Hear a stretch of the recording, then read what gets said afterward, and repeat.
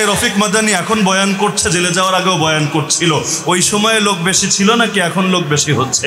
সেই সময়ে তার জনপ্রিয়তা বেশি ছিল না, এখন বেশি হচ্ছে।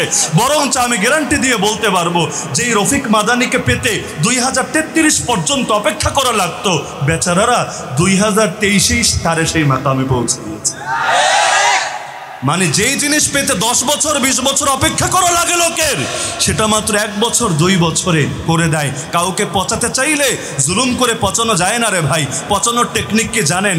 একবার ওরে দালাল হিসাবে প্রমাণ করেন, একবার ওরে তেলবাজ হিসাবে জাতির সামনে চিহ্নিত করেন। দেখবেন জাতি এমনি মুখে থুতু দেয়, কারণ জাতি কোনো তেলবাজকে পছন্দ করে না, দালালকে পছন্দ করে না। মানুষ ন্যাচারালভাবেই স্বাধীনতা প্রিয়। সুতরাং যারা স্বাধীন হয়ে থাকে, পরাধীনতার মধ্যে যারা নিজেদেরকে নিজেদের বীরত্ব আর কৃতিত্ব প্রমাণ করে না জাতি তাদেরকে মাথায় উঁচিয়ে রাখে। তো কাউরে পচাতে চাইলে তাকে চারিত্রিক কেলেঙ্কারি দিয়ে অথবা তার তাকে জাতির সামনে তেলবাজ হিসাবে উপস্থাপন করে পচানো যায়। দেখেন না এক বিরানি সাহেব, এমন পচা পচেছে, এমন পচা জগতে খুব কম লোকই পচে। কিসের দ্বারা? জেলখাইটা পড়ছে বিষয়টা এমন না। খালি এক দিনের এক বাক্যে এমন পচা পচেছে, এটা বাংলার জমিনে ইতিহাস হয়ে লেখা থাকবে তো পচাতে চাইলে এমনি পচাতে হয়, মারলে পচে না, যত মারে তত শক্তি বাড়ে। আমার নবীর দাওয়াত কখন সবচাইতে বেশি ছড়িয়েছে জানেন? যখন নেগেটিভ মার্কেটিং করেছে, নিজেদের লোক ভাড়া করে দাঁড় করিয়েছে। খবরদার, মক্কায় আইসোস, মক্কায় কিন্তু একটা পাগলা আছে, একটা জাদুঘর আছে। ওর কাছে যাইস না রে, গেলে তোদেরকে জাদু করে পরিবার থেকে আলাদা করে ফেলবে। বুখারিতে হাদিস আছে ও মোহাম্মদুন ফারাকুম বাইনান নাস মোহাম্মদ সাল্লাহ সাল্লাম মানুষের মধ্যে পার্থক্যকারী। আল্লাহ রসুলরা যারা মানে আর যারা মানে না, তারা তো এক থাকে না। তো এখন ভয় দেখায় মানিস না, ওর কাছে যাইস না, গেলে মাথা ঠিক থাকবে না। এখন লোকে বলে এইটা আবার কোন পাগল রে? পাগল তো বহুত দেখেছি। কোন পাগল নেই, এমন মাইকিং, এমন মার্কেটিং তো দেখি না। এই পাগলটারে না দেখলে এলাকায় গিয়ে তো বলা যাবে না। এলাকায় গিয়ে লোকে তো শুনবে কারগুজারি তখন বলবে, এই পাগলটারে একটা নজর, দেখে আসলি না? এখন সবাই যায় পাগল দেখতে ফিরে আসে ইমান কবুল করে।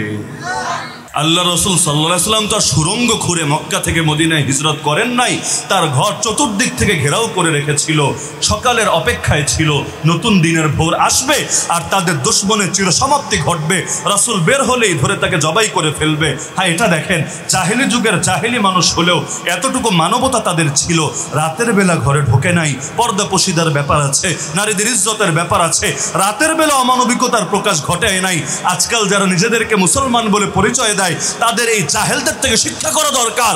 রাতের বেলা সারা রাত বসে বসে পাহারা দিয়েছে। সকাল হবে, মোহাম্মদ নিজের থেকে বের হবে, তারপর তাকে ধরে জবাই করবে। চারদিক থেকে ঘেরাও করা নবী যাবেন কেমনে? নবী লুকায় লুকায় যান নাই, উড়ে উড়ে যান নাই। আল্লাহ রসুল তাদের সামনে দিয়ে চলে গেলেন। হেঁটে হেঁটে। কীভাবে? সুরা ইয়াসিনের আয়াত পড়তে পড়তে। বিশেষ করে আয়াত যখন পড়লেন ওয়াজা আলনা বিম্বাইনি আইদিহিম সাদ্দা অমিন খালফি হিম সাদ্দা, ফাগশাইনাহুম, ফাহুম লা ইউবসিরুন। আমি ওদের সামনেও পর্দা ফেলে দিয়েছি, পেছনেও পর্দা ফেলে দিয়েছি। আমি ওদের চোখগুলোকে ঢেকে দিয়েছি। এখন আর ওরা কিছুই দেখবে না। এ আয়াত পরে সামনে দিয়ে চলে গেলেন। আল্লাহ রসুলকে দেখতেই পেল না। আবুল আহাবের বউ একবার এসেছিল, অনেক এসকো নিয়ে রসুলের মাথা ফাটায় দিবে বলে হাতে পাথর। দূর থেকে শুনছে রসুল কোরআন তেলাওয়াত করছে। মহা খুশি। আজকে এই কোরআনের মাহফিলে হুজুরের মাথা ফাটায় দিবে। এখন কাছাকাছি এসেছে। আল্লাহ রসুল সেখানে বসা। আবু বকর রদি আল্লাহ আনহু একটু পেরেশান হয়ে গেলেন। একবার তাকায় তার দিকে, একবার তাকায় রসুলের দিকে। নিজেকে নিয়ে পেরেশান না, রসুলকে নিয়ে পেরেশান। হায়, এখন কি হবে? আল্লাহ রসুলকে যদি মারে, মারতে শুরু করে, বেহাদবি করে, গোস্তাখি করে নারী, নারীর সঙ্গে মোকাবেলা করাও তো জটিল। নারীর সঙ্গে চাইলেই চুল ধরে টানা হেসরা করা যায় না, চাইলেই পাঞ্চ করা যায় না, চাইলেই কেক করা যায় না। যত হোক নারী, একবার কেন্দ্রে দিলে মানুষ জোতার কিছু থাকবে তো এখন সামনাসামনি এসে উপনীত। তিনি তো চিন্তিত। আল্লাহ রসুল সাল্লাহ সাল্লাম সুরে বানি ইসরাইল পড়ছেন। প্রশান্ত চিত্তে পড়তে পড়তে এই আয়াতে আসলেন ওয়াইদা কারাতাল কুরআন জাআলনা বাইনাকা ওয়া লা ইউমিনুনা বিল আখিরা হিজাবাম মাসতুরা। হে রাসূল, আপনি যখন কোরআন পড়েন, আমি আপনার মাঝে, আর আখিরাতে যারা ঈমান রাখে না, ওদের মাঝে অদৃশ্য একটা পর্দা ফেলে দেই। এখন আসলো মহিলা। মহিলার ভেতরে অনেক ক্ষোভ। রাসূল তারে জাহান্নামী বলেছেন, এটা সে কীভাবে কীভাবে সইবে? কোথায় বলেছেন? আজ তো একটা সুরাই দিয়ে দিয়েছেন তাদের ব্যাপারে। ইতিহাসে অমর করে দিয়েছেন তাদেরকে। সুরায় লাহাব আসে নাই। এর মধ্যে সাইয়াসলা না রাং দাত লাহাবি ওমরাতু আবু লাহাবও জাহান নামে যাবে। আর আবু লাহাবের গিন্নি, আবু লাহাবের বউ বেচারিও জাহান নামে যাবে। এটা কি আর তাদের সহ্য হয়? আর দুনিয়ার বুকে ভাইরাল হলো, অমর হলো। তবে সুখ্যাত না হয়ে কুখ্যাত হলো। কেউ চায় সুখ্যাত হতে, কেউ চায় কুখ্যাত হতে। অনেকে মাহফিলে গন্ডগোল পাকে এজন্য যাতে করে তার নুরানি চেহারাটা গোটা জাতি দেখে। না হলে কে বা না জানে, যুগটা হলো এমন যুগ, যেই সময় এত ক্যামেরার সামনে চাইলেও কোনো কিছু গোপন রাখা যায় না। একবার আইসা ভেজাল করবে, জুতা মুবারক তো ফি খাবেই খাবে। আর গোটা জাতির সামনে চিরকাল তার মুখা, চিরকাল পর্যন্ত ভাস্বর হয়ে থাকবে। ও মরলে ও চোদ্দ গোষ্ঠীর পর্যন্ত লোকে এটা বলে ট্রোল করবে, ব্যঙ্গ করবে। জানে না এমন না কিন্তু কেউ চায় সুখ্যাত হতে, কেউ চায় কুখ্যাত হতে। তো রাসুল তরে জাহান নামে বলেছেন, সহ্য হয় না, কলিজা ফেটে যায়। যেমন আজকালকার নাস্তিকদের সহ্য হয় না। নিজেরা নাস্তিক বলে, এতে লজ্জা হয় না। কিন্তু হুজুররা যদি ওদেরকে জাহান নামে বলে, কলিজার আগুন আর নেভে না, তখন বলে, জান্নাত মনে হয় একমাত্র মোল্লাদের, মোল্লারা ঠিকাদারি নিয়ে নিয়েছে। শুধু তারাই জান্নাতে যাবে, আর কেউ যাবে না। এটা তো মেনে নেওয়া যায় না।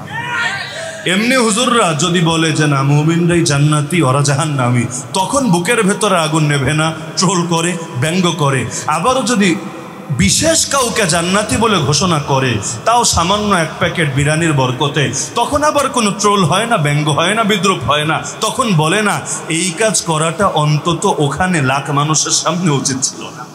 তেল মালিশ করলে তেল তো গোপনে গোপনে মালিশ করতে হয়। লজ্জা সরমের তো একটা ব্যাপার স্যাপার থাকে। আর তেলের দাম এমনি বাড়তি। আবার যদি জায়গায় বেজায়গায় এভাবে তেলবাজি চলতে থাকে, আগামী দিনে বাঙালি কি খেয়ে বাঁচে? তো এখন হালতটা এমন, আল্লাহ রসুলের মাথা ফাটিয়ে দিবে, রসুল বসা, রসুল পড়ে গেলেন। এবার মহিলা এসে বলে, আবু করে কি তোর দোস্ত কই রে? তোর নেতা কই রে? বুঝছি, আমার ভয়ে পালাইছে না। ও আচ্ছা আমারে ফেস করার সাহস করে না?